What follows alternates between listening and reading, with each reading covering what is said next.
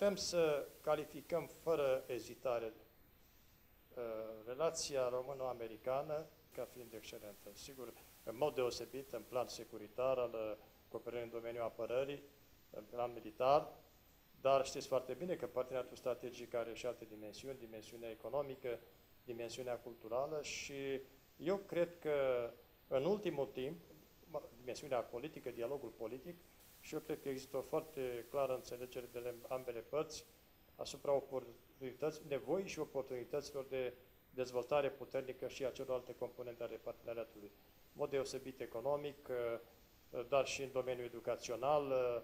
Și vreau să vă spun că, de exemplu, referindu-ne la zona economică, la întâlnirile care au avut la Washington recente cu premierul, ale premierului Cioloș, au fost întâlniri cu ministrul comerțului, secretarul pentru comerț, da? Uh, ministrul uh, agriculturii american, ministrul energiei și uh, în domeniul energiei sunt, s-a constatat de ambele părți existența, existența unor premize de consolidare substanțială a cooperării noastre în domeniul energetic.